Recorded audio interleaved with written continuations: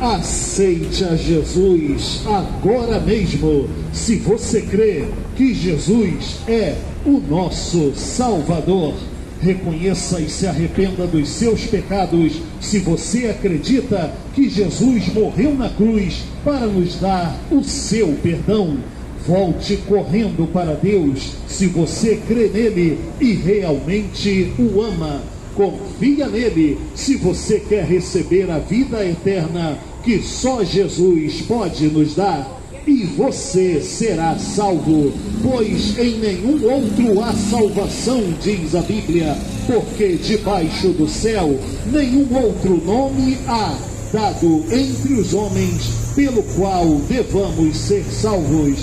Jesus, somente Jesus é o caminho, a verdade e a vida. Jesus, somente Jesus é a salvação de Deus ao nosso alcance.